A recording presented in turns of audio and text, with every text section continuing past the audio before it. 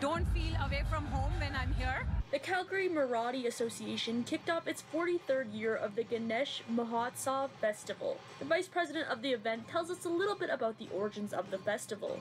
So, for centuries and centuries, it came down as a celebration inside a house. But since British rule in India, since uh, 1892, when the Britishers passed uh, the, the, the, law where, where, more than 20 people couldn't assemble together, it was the uh, anti-assembly law uh, in, uh, in British India. that's when there was an exemption for, cult- for, for religious purposes. That's when we started celebrating the Ganeshotsav publicly. This one day event took place at the Genesis Center and featured cultural performances, food, and had more than 800 people in attendance. The attendees we talked to say this festival makes them feel at home.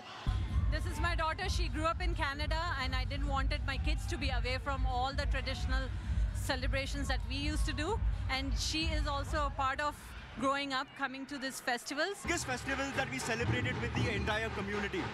So having to celebrate it with the same energy and the same vigor out here in Calgary is huge for us. And it's a massive credit to the association.